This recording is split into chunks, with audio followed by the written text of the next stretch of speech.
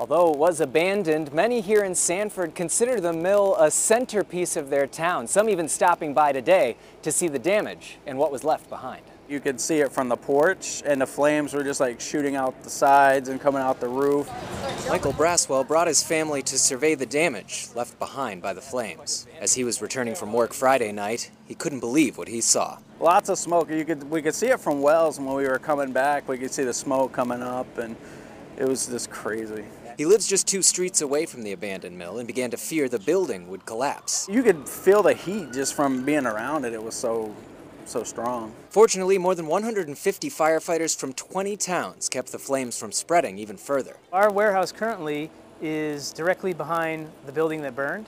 Mark Roulard owns Central Furniture just across the street. Without uh, their good work, uh, we might be having a real hard time operating today. But to him, the mill was more than a neighbor. My great-grandparents immigrated here from Canada to work in that mill, and so uh, there is a connection there. I do feel some uh, sentimental loss. They'll definitely be missed, you know, because if they're gone. With a costly demolition project likely in the future for the mill, neighbors just say they hope that something productive can be done with that space. In Sanford, Joe Glauber, WMTW News 8.